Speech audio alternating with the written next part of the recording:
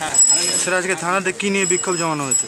ওনাকে আমাদের মাননীয় বিধায়ক মন্ত্রনাথ রয়, তাকে টিএমসি গুন্ডা বাহিনীরা যেভাবে হত্যা করল, যে একটা এমএলএ সুরক্ষিত নেই পশ্চিমবঙ্গে তাহলে এটা আমরা একটা সাধারণ কর্মী হোক বা সাধারণ পাবলিক হোক, কোথায় সুরক্ষিত আছে বলুন? হত্যা আমরা চাইছি ওনার একটা সিবিআই ইনকোয়ারি হোক সিবিআই ইনকোয়ারি কে হত্যা করেছে, সেটা পাবলিকের সামনে পশ্চিমবাংলায় কিছু নেই বলতে টিএমসি ক্যাডার। এই সেক্রেটারি পশ্চিমবঙ্গ কাজ পশ্চিমবাংলায় কাজ করছে। পুলিশ আর বারবার দেখা যাচ্ছে অনেক বিজেপি কর্মীরা টিএমসিতে যোগ দিচ্ছেন। সেই বিষয়ে কি বলবে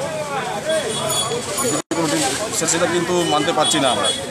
কোনো বিজেপি কর্মী এখনও অবধি আমাদের কোনো সঠিক নেই কি বিজেপি কর্মীরা টিএমসিতে যোগ দিয়েছে। হ্যাঁ কিছু গুন্ডা কিছু গুন্ডা যারা দু নম্বরী কাজ করতো তোলাবাজি করতো তারা হয়তো ওরা নামে কিছুদিন এসেছিল তারা হয়তো গেছে। কিন্তু বিজেপির একটাও কর্মী এখন অবধি আমাদের ব্যারাকপুরে পুরো পশ্চিমবঙ্গ বলতে পারছি না ব্যারাকপুরে একটাও বিজেপি কর্মীর যোগ দেয়নি টিএমসিতে। সাজানো গল্প এগুলো সব সাজানো গল্প।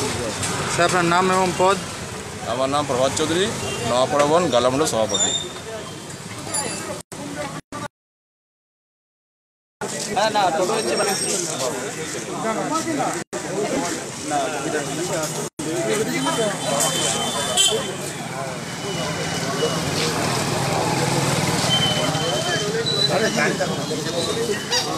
あっ。